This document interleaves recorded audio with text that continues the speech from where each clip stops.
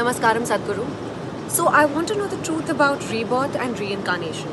In one of my movies, I play a character who's reborn with the same traits. Is that even possible? Namaskaram, Kajal.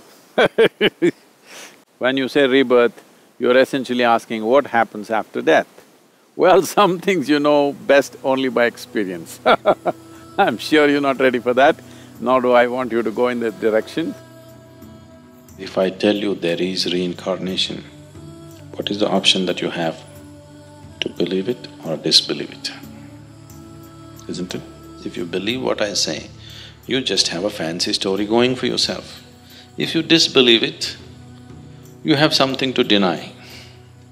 Both ways only entertainment will happen. Nothing else will happen, isn't it? If you really want to know, you must be willing, if you're willing to apply yourself, there is a way to know. In my life, it's a living reality. The last three lifetimes for me are in the same place, same work, to some extent same people. Till it becomes a reality in your experience, you should not believe this nonsense.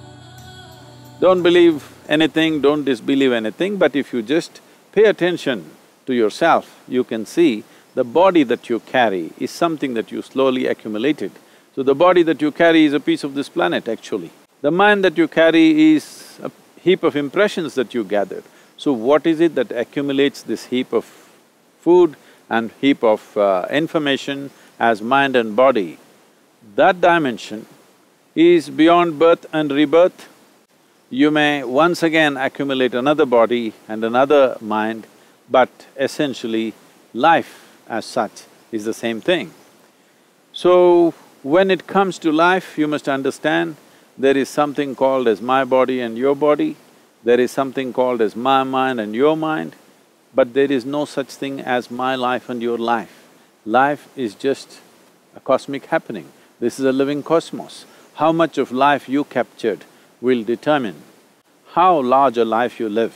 What is the scope and spread of your life will simply depend on how much life you captured within yourself. The entire science of yoga is just about this, how to make this life super enhanced so that the scope and spread of this life is as much as it can be.